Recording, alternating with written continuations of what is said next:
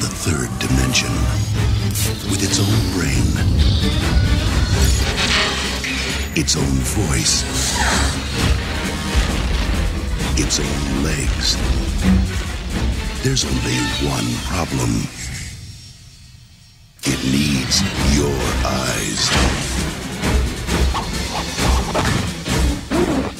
Virtual Boy. See it now in 3D.